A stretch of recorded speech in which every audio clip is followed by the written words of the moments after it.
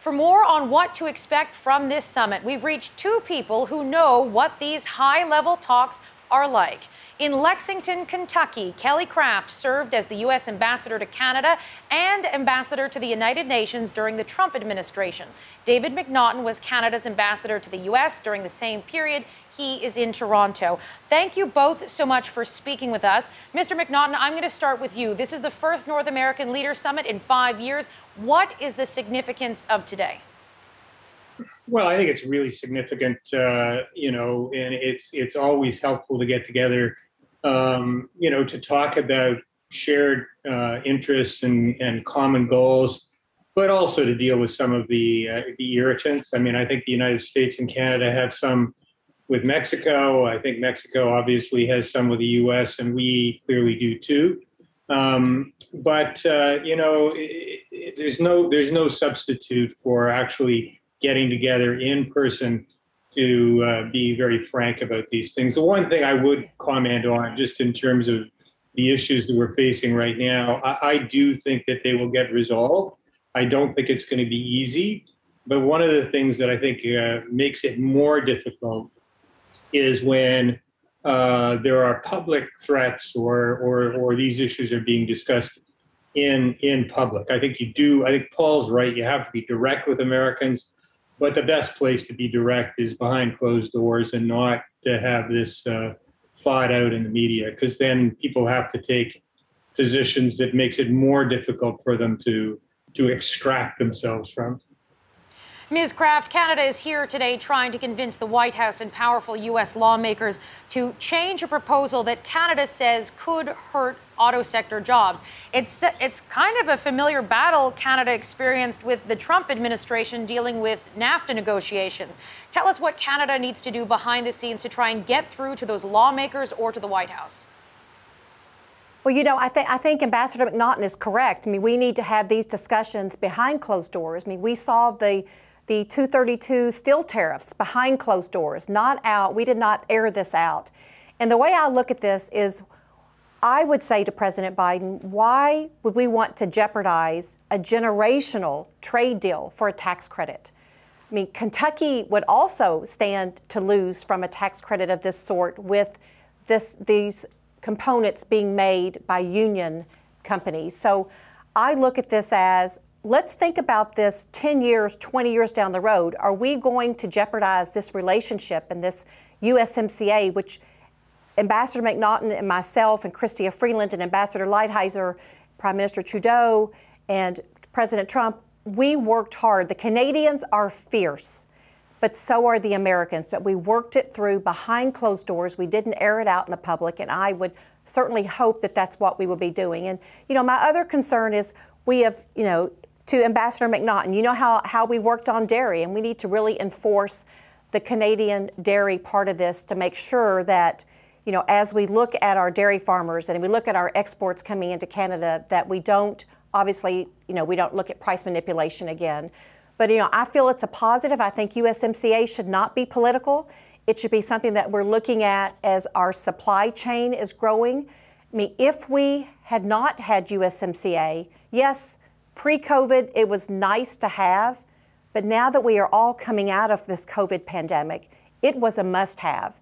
And so I feel like we should not politicize it. I mean, we have a lot to talk about today. I'm sure that they discussed energy. I mean, I'm very discouraged with President Biden and the fact that I feel he's trying to destroy our North America independence. I mean, I'm concerned about Alberta being the fact that this is going to harm their economy how many jobs, a thousand jobs would have been on this continuation of this pipeline? So this all turns into tax revenue that Alberta and Ontario and British Columbia, they pay out to the rest of Canada. So how does this affect the rest of Canada that receives the benefit from Alberta? Now, Ms. Craft, with respect, uh, President Donald Trump campaigned on NAFTA during the 2016 U.S. election, campaigned to, uh, to rip it up, renegotiate it, and, and, how how is that not political? If you're arguing that these, this shouldn't be made political, that was political, no? Well, you know, that was part of his campaign because his campaign was all about the American workers and making. Is that not what Joe Biden's trying to do? Is that but? Is that not what Joe Biden's trying to do? Build American jobs and union jobs in the country, which he also campaigned on.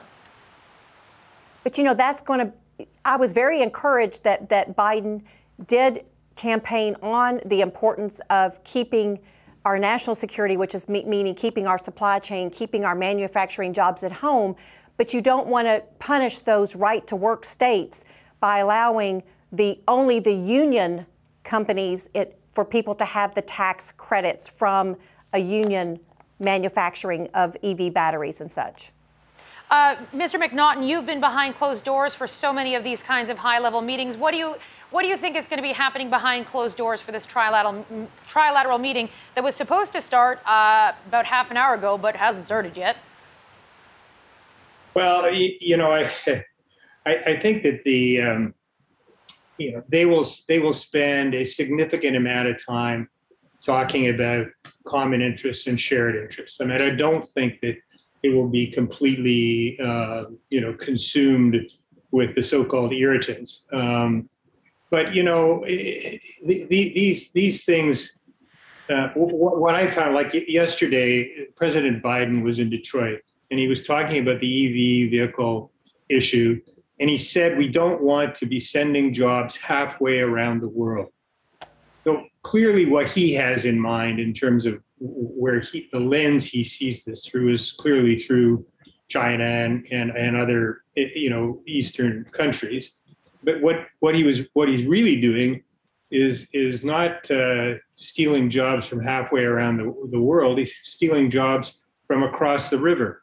And and I think part of the things that thing that I realized when I was in Washington was just that the, the Americans don't think about the interrelationship of our economy and their economy and the importance of Canada to so many uh, states in the United States. And we have to constantly remind them. And some of that is look at the benefit that we can give to you. If you, you know, what going back to what Paul was saying, their focus is on 2022.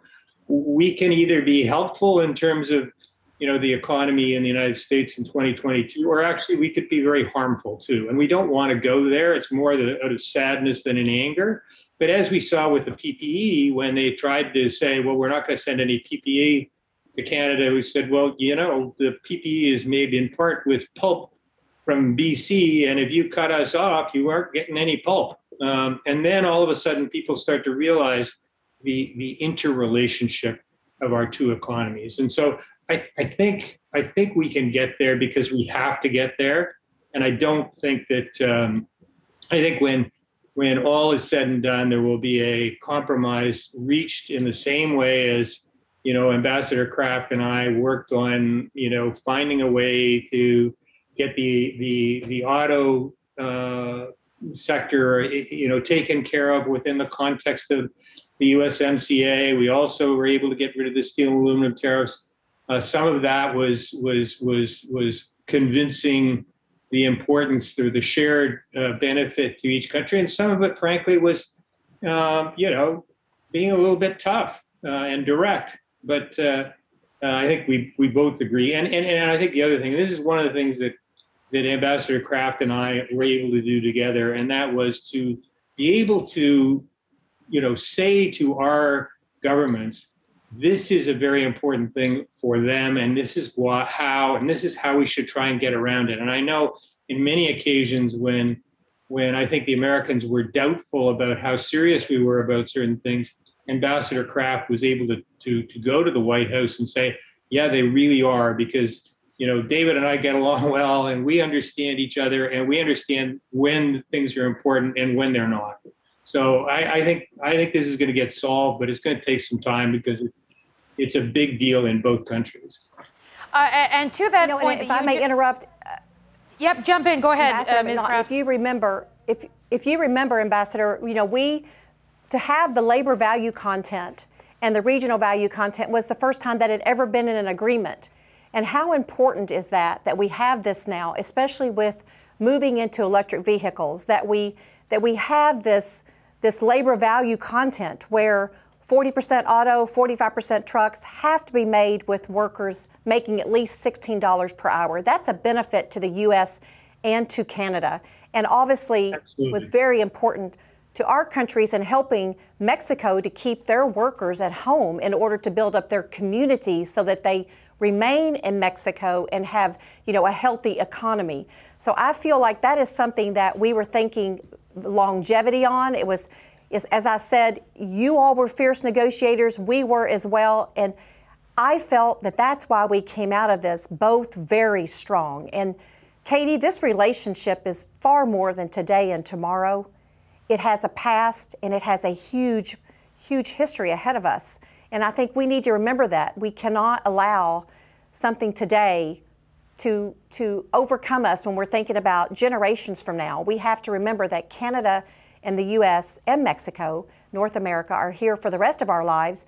And it's very important, and I'm, I'm you know, very excited for the incoming Ambassador Cohen to be able to understand the importance that this is like a marriage. You have got to work at it every day and never take it for granted. Ms. Craft, one point that we heard from Mr. MacNaughton there is that one thing that Canadian officials really mar- remarked upon is that when they needed to get a hold of Donald Trump, that you had Donald Trump's ear. And after your tenure as Canadian ambassador, you were promoted to be the U.S. ambassador to the United Nations. I'm very curious, do you still support former President Donald Trump? You know, I am very supportive of President Donald Trump because look at the policies that he put forth in the United States. I mean, just look at USMCA and how that has helped our supply chain for North America, how that has built up our manufacturing, not only for workers, but for our national security in the United States and Canada and Mexico.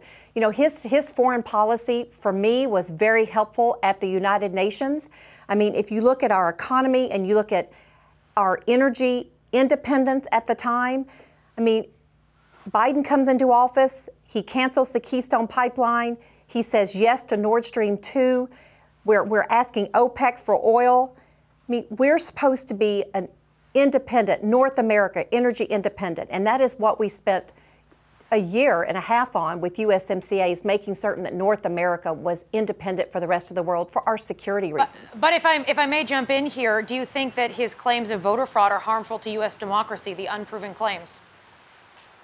You know, I served as U.S. ambassador to the United Nations, and I was focused on the the challenges that were ahead of us with the other but, countries and making certain that we kept America safe and that. But you live you live in the, the United States. Everyone witnessed what happened. Do you, do you do you not think that that's detrimental to democracy, not just in the United States but around the world? You know, I served our commander in chief, Donald Trump, and I served him very proudly, and I'm very proud of his foreign service policies that keep America safe and our national interest first and foremost. Will you back him in 2024 if he runs again? I'm absolutely a huge fan of Donald Trump and will be very supportive of whatever decision he makes. All right. Uh, former Ambassador Craft, former Ambassador MacNaughton, thank you so much for your time today. Thank you. Thank you. Thank you, Katie. Good to talk to you. Great to see you, David. Yeah, good to see you. Hi, I'm Vassy Kapelos, host of Power in Politics. See more of our show by subscribing to the CBC News channel or click the link for another video.